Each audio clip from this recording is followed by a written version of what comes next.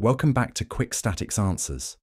Today's question is, determine the force along members DB and FB. First, we'll draw the free body diagram of member GE. Point G supports the engine, so there's a downward force W to represent the weight of the engine.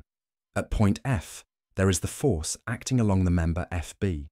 We can split this force into components to make it easier to solve for later on. At E, there is a pin, so we will have X and Y components. Now, let's solve for the value of W. This can be done by multiplying the given mass by gravity. The result is 1,226 newtons. Next, we'll find the angle made by member FB and the horizontal using the following equation. The result is 71.6 degrees. Then we'll take the moment about point E. Since the components of E and the x component of force Fb pass through point E, they are not included in this calculation. This is the resulting equation, which when isolated for force Fb results in 1.94 kilonewtons. Next, we'll take the sum of horizontal forces to find Fex, since that'll help us find the force along member DB later on.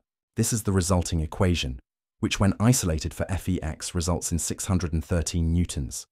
We'll put this value off to the side for now. Now we'll draw the free body diagram for member EC. We'll have both x and y components at point E.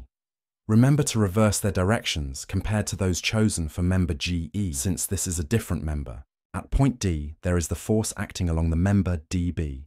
We can split this force into components to make it easier to solve for later on. At C, there is a pin, so we will have x and y components.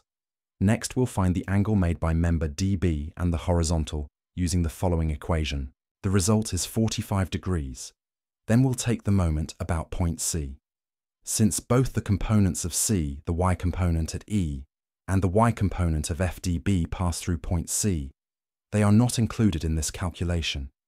This is the resulting equation we can substitute the value we previously found for Fex into this equation and then isolate for FDB. The result is 2.6 kilonewtons. And there you have it, quick statics answers.